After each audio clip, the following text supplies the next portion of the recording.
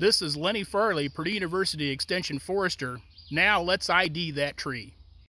In this edition of ID That Tree, we're going to introduce you to another one of our early blooming trees here in Indiana, and that is Ohio Buckeye.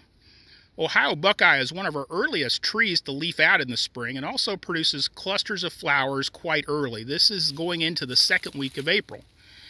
And although the flower clusters aren't particularly showy compared to some, they are quite large and will, in many cases, produce some of those very noticeable and recognizable buckeyes in the fall.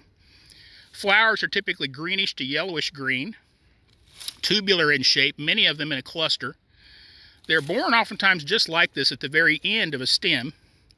As you can see, the leaf arrangement on Ohio buckeye is opposite, and it has very interesting compound leaves that rather than being pinnate like we see on ash or sumac or walnut, are what we call palmate. And so all the leaflets are originating from one point at the end of that leaf stem. And typically we have five leaflets on Ohio Buckeye.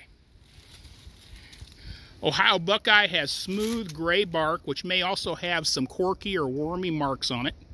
Can resemble uh, young sugar maple to some extent, and oftentimes found in some of the same locations. This oftentimes is an understory tree, uh, kind of living under the shade of other trees, more typically on moist sites. This is actually a little creek bench here with good deep soil and plenty of moisture.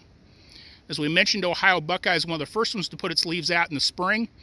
Uh, that's kind of a strategy that it's got to photosynthesize early before there's a lot of shade and then it'll lose its leaves pretty uh, early in the summer, uh, going into fall. One of our first trees to drop its leaves, uh, almost always in late summer as opposed to waiting to fall to get rid of its foliage.